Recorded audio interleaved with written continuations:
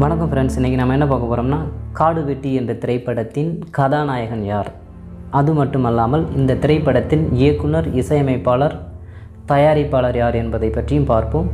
இந்த காடு வெட்டி திரைப்படம் மாவீரன் ஜே. குரு அவர்களின் வாழ்க்கை வரலாற்றினை மையமாக கொண்டு எடுக்கப்பட்ட ஒரு திரை காவியமாகும் இது முழுக்க முழுக்க அரியலூர் பெரம்பலூர் மாவட்ட பகுதிகளில் படமாக எடுக்கப்படுகிறது. தொடர்ந்து நாம் காணொளிக்குள் போகலாம். அதற்கு முன்பாக இந்த மக்கள் செய்திகள் யூடியூப் சேனலை மறக்காமல் கீழே உள்ள சிகப்பு கலர் பட்டனை கிளிக் பண்ணுங்கள் அப்படியே பக்கத்தில் வர்ற பெல் பட்டனை கிளிக் பண்ணுங்கள் அப்போ தான் நாங்கள் போடுற வீடியோ உங்களுக்கு உடனுக்குடன் வரும். வாங்க இப்போ நம்ம வீடியோக்குள்ளே போகலாம்.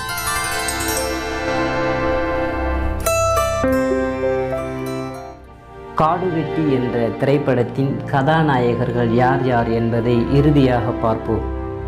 அதற்கு முன்பாக இந்த காடு வெட்டி திரைப்படத்தின் தயாரிப்பு சோழன் மீடியா கிரியேஷன் ஆகும். அதே போன்று இந்த படத்தின் இயக்குனர் யார் என்று பார்த்தால் பல குறுப்படங்களை இயக்கி சாதனை படைத்த சோலை ஆறுமுகம் அவர்கள்தான் இந்த படத்தின் இயக்குனராகும். மேலும் இந்த படத்தின் இசையமைப்பாளர் வணக்கம் தமிழா சாதிக் அவர்களாகும். இப்போ நாம் அடுத்ததாக என்ன பார்க்க போகிறோம்னா நீங்கள்லாம் எதிர்பார்த்து கொண்டிருக்கும் கதாநாயகன் அதாவது காடு வெட்டி திரைப்படத்தின் கதாநாயகன் யார் என்பதை பார்ப்போம்.